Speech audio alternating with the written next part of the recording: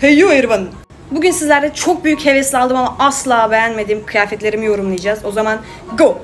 Şimdi öncelikle bunu niye çok büyük bir hevesle aldım gerçekten bilmiyorum. Çok korkunç. Bak şimdi.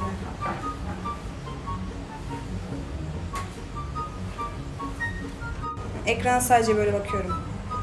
Benim Bir dişiyle şey söyleyeyim ya. Benim dişli enerji gerçekten. Bir şey söyleyeyim gerçekten panter miyim ben? Avlamaya mı çalışıyorum? Avlanmaya mı?